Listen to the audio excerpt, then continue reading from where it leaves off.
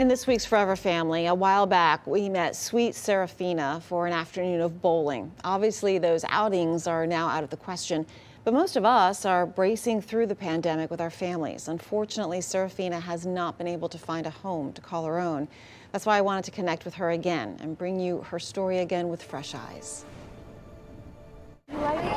So the last time I talked to you, you were nine years old. How old are you now? 11. What is it that you like to do? I really like to play Jenga. I like bowling because it's fun. Serafina is very loving. She likes to help out and she's very personable. Do you have a favorite subject in school? Reading. She enjoys reading. She reads all the time, every day. She's a good student. She's a very good student. She did receive honor roll a couple times and different awards in school. What do you miss about school? Having friends. Every time I talk to her, she wants to go back or be a friend. Do you know what you want to be when you grow up? A teacher. And you still want to be adopted, right? Yes.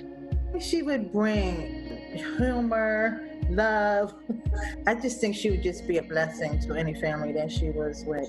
What kind of a family would you like to be adopted into? Nice people that keep me safe. She's such a sweet girl. To learn more, contact Forever Family in partnership with ChildNet, Communities Connected for Kids and Publix by visiting foreverfamily.org. All right.